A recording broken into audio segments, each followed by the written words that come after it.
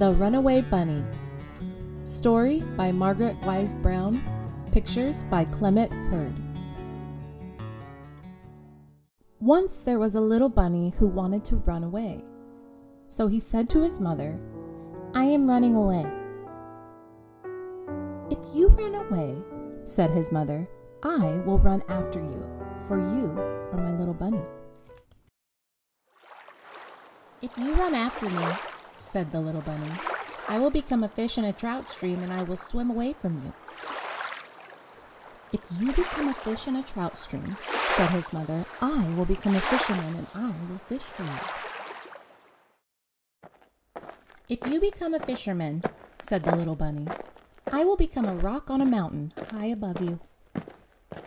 If you become a rock on a mountain high above me, said his mother, I will become a mountain climber and I will climb to where you are. If you become a mountain climber, said the little bunny, I will become a crocus in a hidden garden. If you become a crocus in a hidden garden, said his mother, I will become a gardener and I will find you.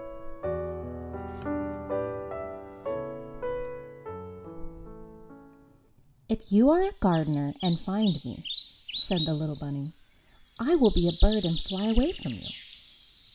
If you become a bird and fly away from me, said his mother, I will become a tree that you come home to.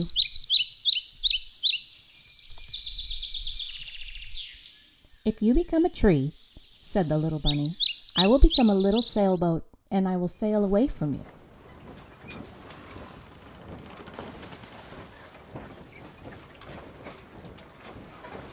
If you become a sailboat and sail away from me, said his mother, I will become the wind and blow you to where I want you to go.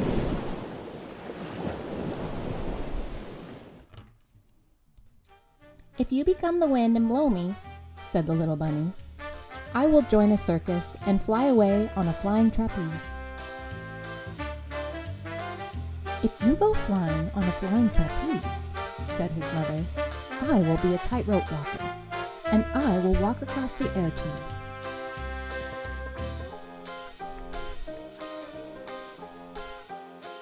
If you become a tightrope walker and walk across the air, said the bunny, I will become a little boy and run into a house.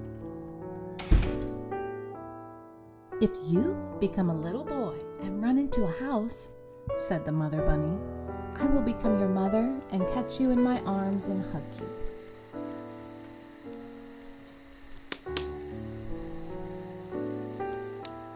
Shucks, said the bunny. I might just as well stay where I am and be your little bunny.